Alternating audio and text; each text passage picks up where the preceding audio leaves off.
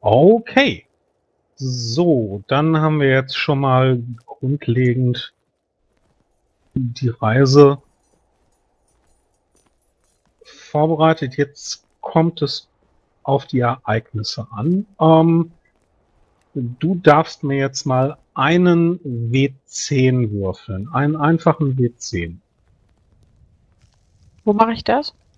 Äh, Im Kampagnenfenster findest du W6, W10. Da Ach da. kannst du dann mal einen hinlegen. War doch W10, oder? Ja. Eine 10 auch. Noch echt jetzt? Ist das nicht gut? Ja. Die ist 10 ist doch das Beste. Okay. Ähm, gut, dazu kommen wir dann später. Wir machen jetzt mal weiter mit unserem äh, Kräutersucher. Was hast du denn vor zu suchen? Wir Kräutersucher. brauchen einen Ich- neuen Kräutersucher. Ich möchte nach, äh, sagen wir, stärkenden Pflanzen suchen. Also was, was äh, die Erschöpfung ein wenig äh, senkt. Mhm. Das geht, so wie ich es verstehe, nicht über Kräutersuchen, sondern nur über Alchemie. Also suche ich wohl entsprechende Zutaten. Also die Zutaten kannst du entweder über Alchemie oder über Naturkunde suchen, was dir lieber ist.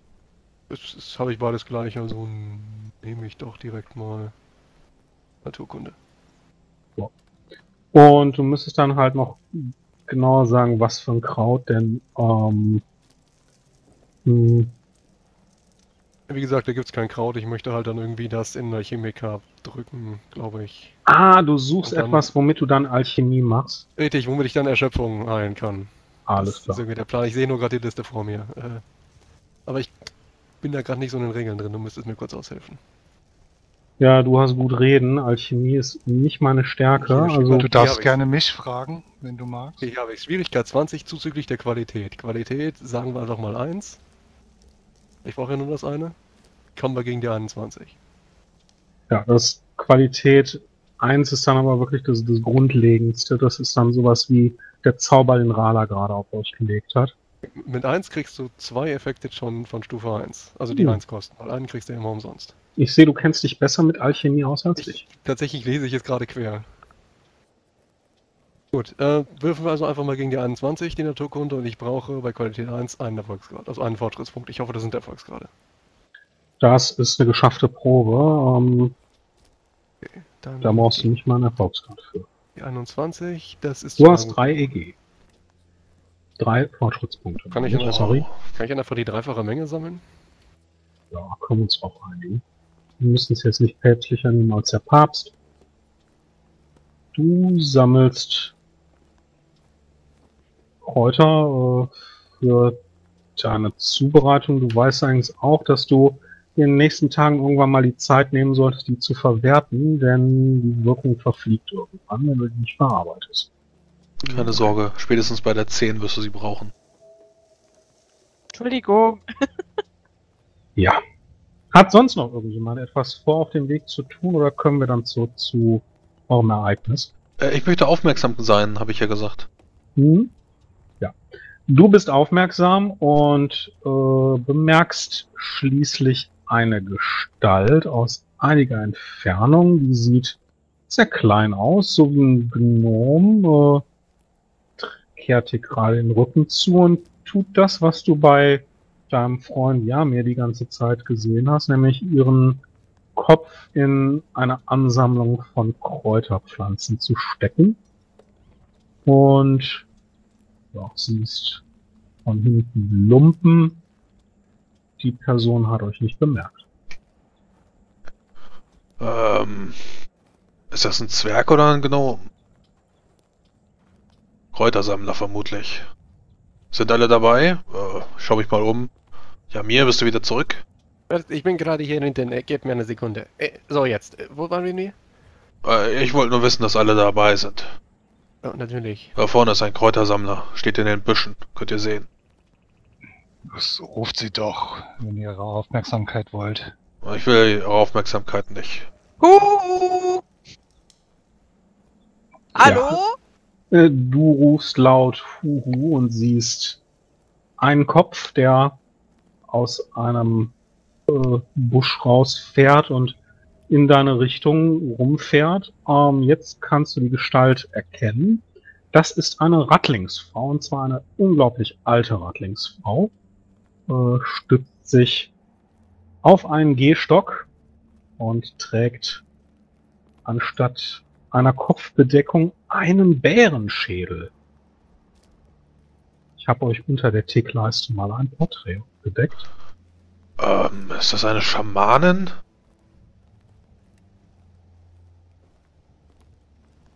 Fragt sie doch selbst. Ich würde sie auf alle Fälle fragen, ob sie sich hier in der Gegend auskennt.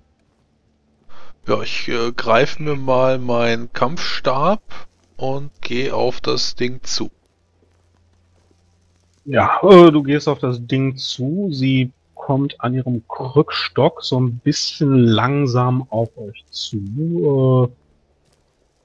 Äh, ja, guckt dich an, du siehst leicht trübe Augen. Äh, hey da. Äh, du? Du, wer du? Du merkst, ihr Basagnomisch ist sehr gebrochen. Ähm, Kräutersammler.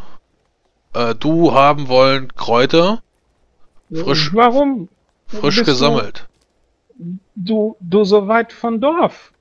Äh, Das meine Kräuterstelle. Meine. Du woanders suchen. Äh, ja, mir, äh, rück mal zwei Kräuter raus und gib sie ihr. Aber die, die Frau sammelt doch gerade.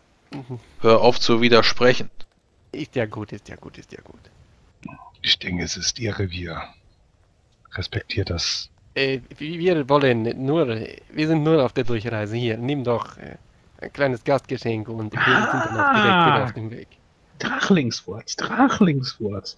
Macht groß und kräftig. Gut für mein Volk. Gut für mein Volk. Ja, damit. Ich glaube, für euer, sie kriegt dann jetzt zwei Portionen. Habe ich ja immer noch eine über. Für Ähm. euer Erfolg ist das mit dem Großwerden vielleicht schon ein wenig zu spät. Wie viel von deinem Volk sind denn hier in den Bergen? Bist du weit von deinem Dorf weg, blinde Frau? Ich bin nicht blind. Ich sehe noch ganz gut und sie pocht, um es unter Beweis zu stellen, dir mal mit ihrem Krückstock vor die Brust. Ja, ich würde das äh, direkt auch abwehren mit meinem Stab. Überhaupt gar kein Problem. Hm. Gut. Äh, also, wie viele sind denn hier noch? Warum du fragen? Äh, damit wir noch mehr Sa Kräuter für euch sammeln können. Wir wollen euch helfen. Uns helfen. Uns helfen. Ja, ihr seht aus, als könntet ihr uns helfen. ja, ja, wenn ihr helfen wollt, dann seid ihr willkommen. Kommt, Großlinge, kommt. Die alte Grillka zeigt euch wo. ich schau mal zu den anderen und Das ist aber nett. Ähm, wird mal einfach zunicken nach dem Motto, ihr wisst Bescheid. Und werft dann mal meinen Zauber an, würde aber auch ohne, ähm, ja, ohne Probleme folgen. Also, ne, einfach nachgehen. Die Rindenhaut würde ich gerne anmachen. Kein Problem. Äh, kannst du gerne anwerfen, äh, wenn du das machst. Äh, Schnuppert mal, guckt in deine Richtung. Mm. Nützliche Großlinge, nützliche Großlinge. Kommt, kommt. Ja, das Tempo ist langsam und führt den Katzenbuckel hoch. Ihr kommt schließlich an einer Höhle an, vor der zwei Radlingswachen stehen. Die eine schläft und die andere merkt, dass Krilka sich nähert und stellt sich aufrecht hin. Der Schlafende kriegt mal direkt eine verpasst. Ihr Wachen nicht schlafen und wechselt dann in eine fiepsige Rattlingsprache, die ihr leider nicht versteht und führt euch in eine Höhle. Äh, wie sieht das bei. Bodo aus? Also ist, ist Bodo da begeistert von oder wie fühlt er sich gerade? Ja, also, warum nicht? Ähm, Wenn die sich hier vor Ort gut auskennen, äh, wissen die vielleicht was. Ja. Ich habe euch unten auf der Karte äh, ein bisschen was aufgedeckt. Ihr befindet euch gerade am Höhleneingang auf der Tickleiste.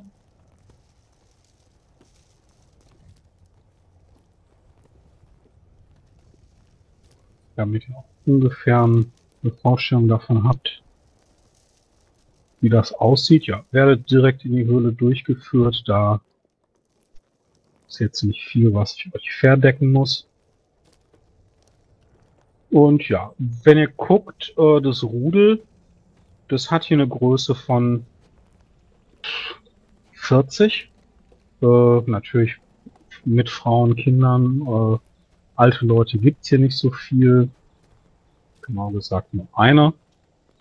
Und ja, also von Wert gibt's bei diesen Rattlingen auch nicht wirklich. Äh, die gucken ängstlich in eure Richtung, aber als ihr mit ihrem Materialchen da reinkommt, äh, akzeptieren sie es. Ihr könnt sehen, dass euer äh, Einzug in die Höhle genutzt wird von einem Rattling, der seinem Nachbar ein verrottendes Stück Obst klaut.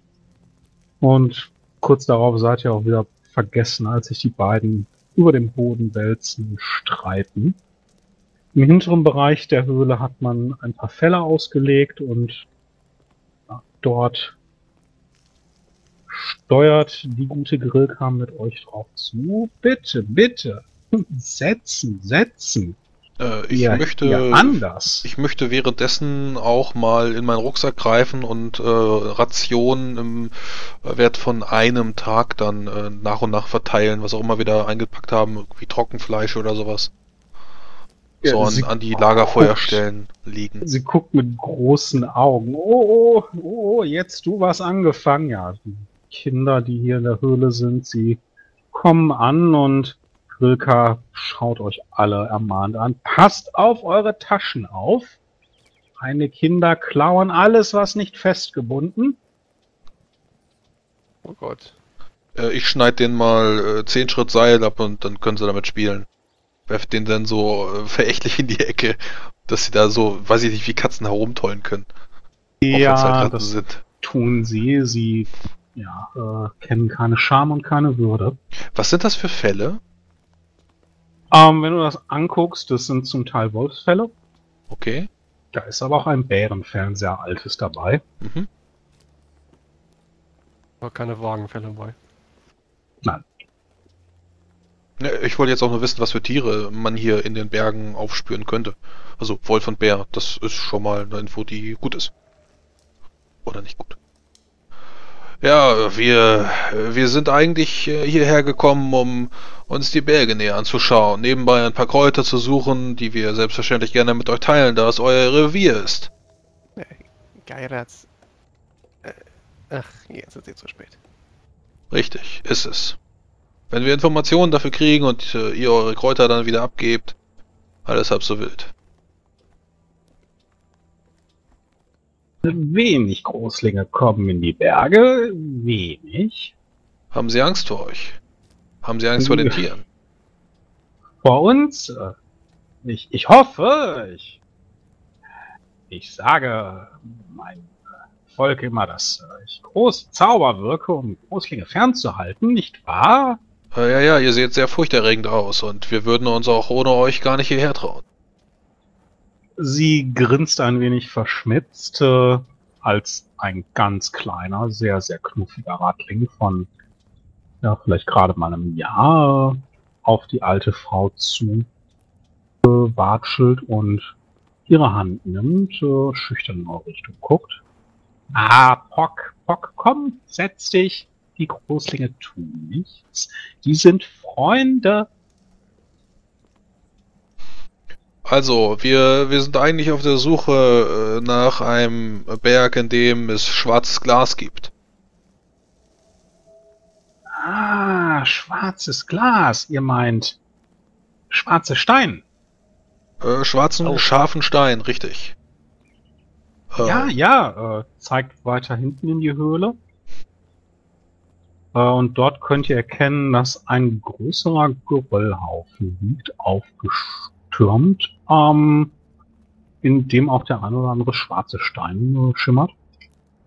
Also äh, Obsidian auch. Ja. Ja, äh, ja äh, genau deswegen sind wir hier. Warum? Ist wertvoll? Äh, der Stein selber nicht, äh, eher das Gebiet, in dem man so etwas finden kann. Oh, ihr nicht gehen da rein, ihr nicht gehen da rein, das ist gefährlich. Aber ihr wolltet helfen, ihr habt gesagt, die Hälfte. Vielleicht, vielleicht traut ihr euch ja doch. Äh, ihr, Was genau trauen wir uns? oh, in dem Tunnel, in dem Gang, äh, viele, viele Spinnen. Äußerst gefährliche Tiere. Äh, Meine, meine Rudel sehr viel Angst deswegen. Nun, Hm. Und diese Spinnen befinden sich in dem Berg, wo es diese schwarzen Steine gibt, ja? Ah, schwarze Steine, weiße Steine, viele Steine. Zwerge sind merkwürdig, mögen Steine. Ja, seltsames Volk. ich meine, unabhängig davon, ob das wirklich der Tunnel ist, zu dem wir müssen, äh, sollten wir ihnen nicht ein wenig aushelfen? Äh, Ihr als großer und starker Krieger wird doch mit sowas sicherlich äh, relativ zügig fertig. Es sollte uns bestimmt nicht lange aufhalten.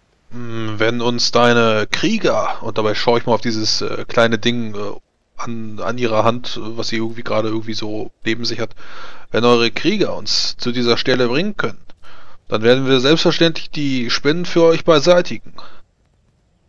Oh, ihr, ihr, ihr tut für uns, ihr, ihr anders als andere Großlinge, ihr, ihr reden und nicht schießen, ihr, ihr freundlich und nicht böse, ihr, ihr helfen, Einfach so. Freunde. Sagt, warum wird euch sonst denn nicht geholfen? Entschuldigung.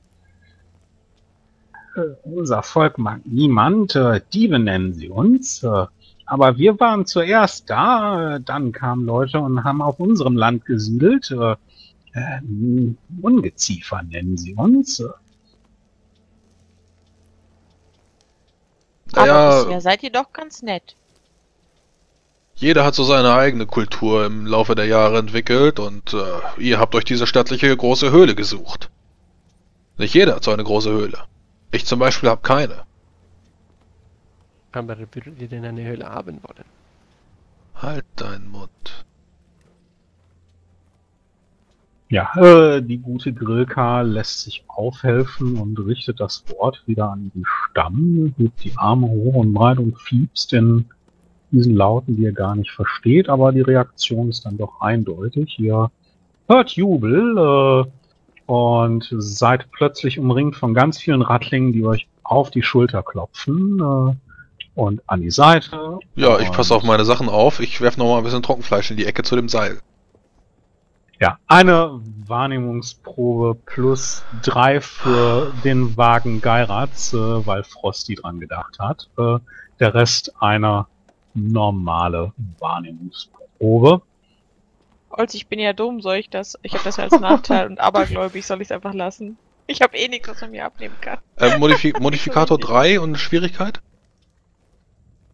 15? Ähm, da muss ich gerade mal vorlegen. Ich guck grad mal. Gegen die 22. oh, äh, Junge. Doch, komm, mach mal einen Risikowurf. Ohne Ähm, Probleme.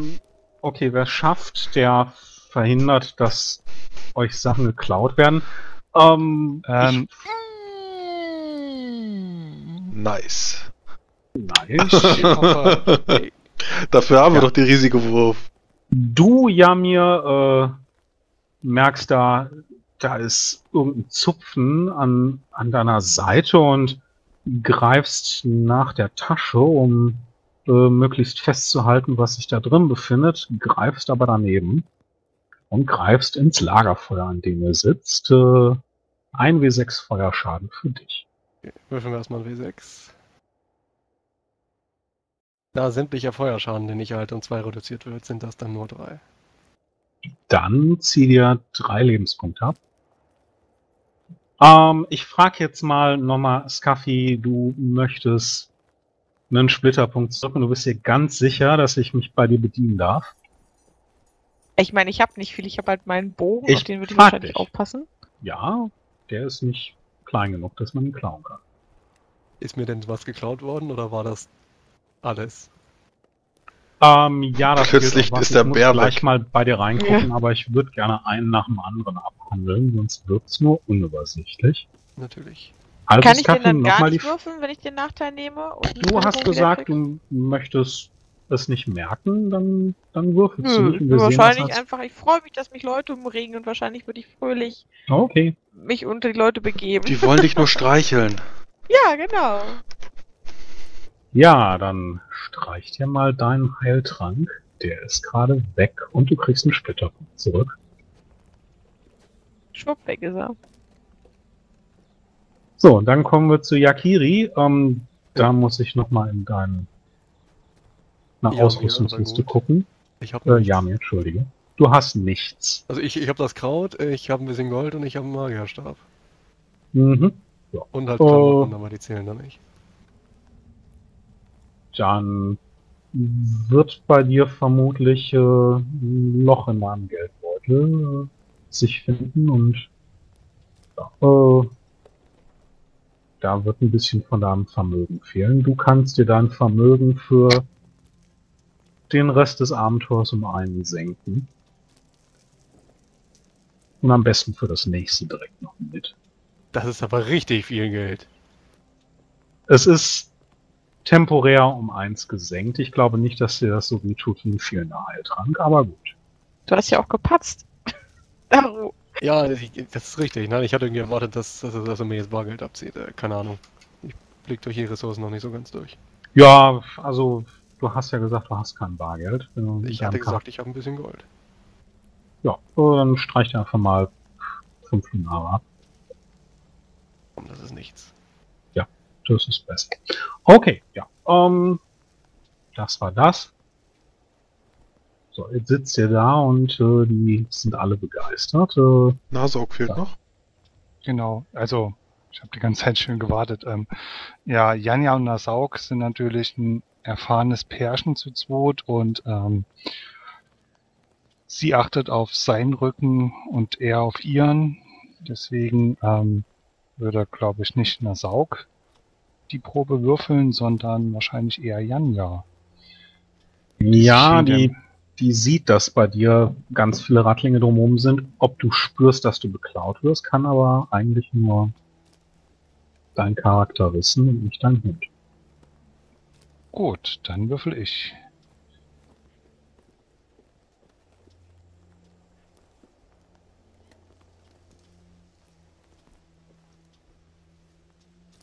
SG war Nummer 25, ne? 22.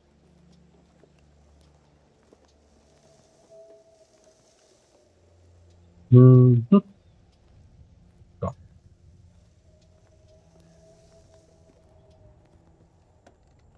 Was könnte man bei dir an Kleinigkeiten in den Taschen finden? Ich möchte jetzt nicht in deinen Charakterbogen suchen. Oh, der hat ja nichts, ne? Ähm, dann allerhöchstens ein paar Lunare. Oder die Ja. Eisen, die er hat. Die könnte man Also für den Patzer gerade hat es dann auch mal die Lunare erwischt, aber bei dir wird es dann vermutlich eher auf was Essbares rauslaufen. Ähm, Oder meine Tresorutensilien oder Kirschnerwerkzeug. Ja, bei deinem Kirschner-Werkzeug fehlt, fehlt am Ende ein Messer. Äh, Das musst du ersetzen und das wirft dich um, sagen wir mal, ein Lunar zurück.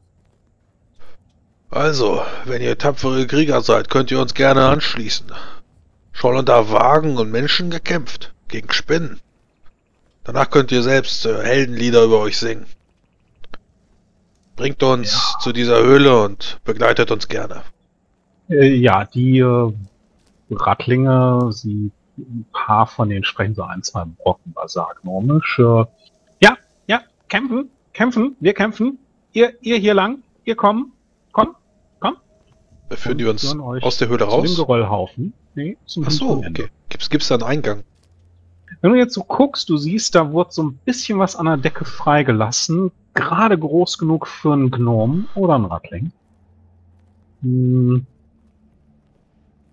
Aber das Ding ist ziemlich voll ansonsten mit Felsgestein. Dann möchte ich gerne meine Spitzhacke herausholen und den Eingang etwas vergrößern, wenn das möglich wäre.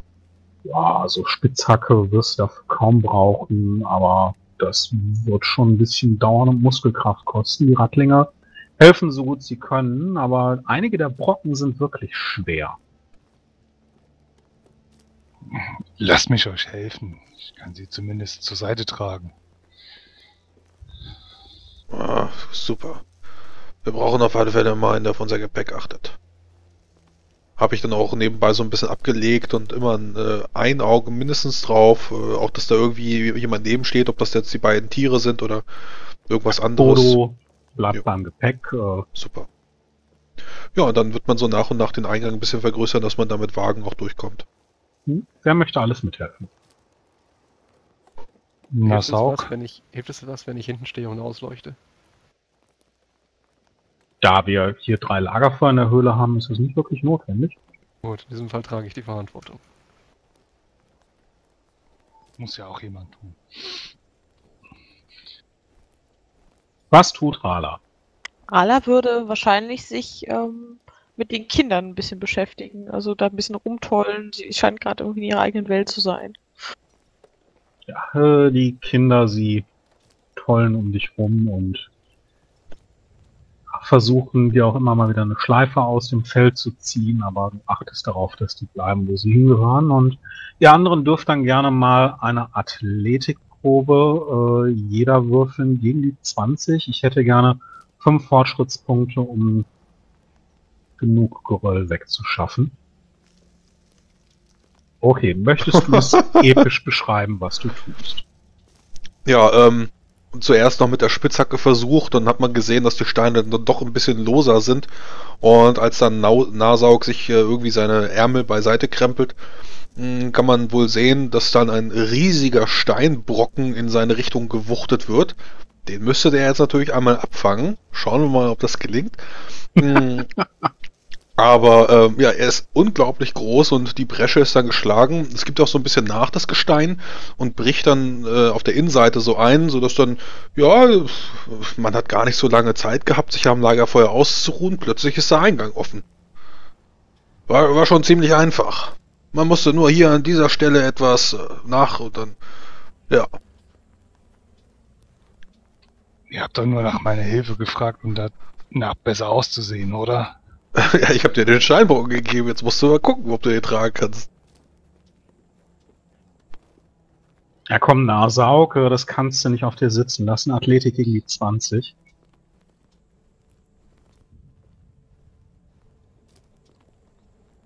Ja, hochheben kein Problem, aber so rumwuchten, wie das gerade dein guter Freund Geirats gemacht hat, nein, äh, das Ding ist schwer.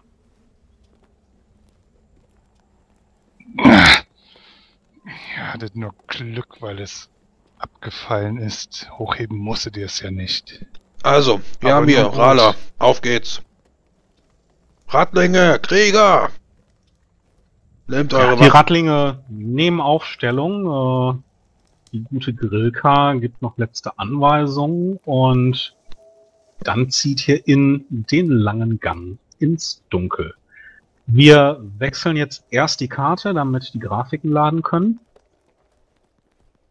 Und dann kopiert ihr bitte eure Tokens, die ihr gerade habt, mit rüber. Also ne, Token kopieren und auf der lange Gang ins Dunkel einfügen.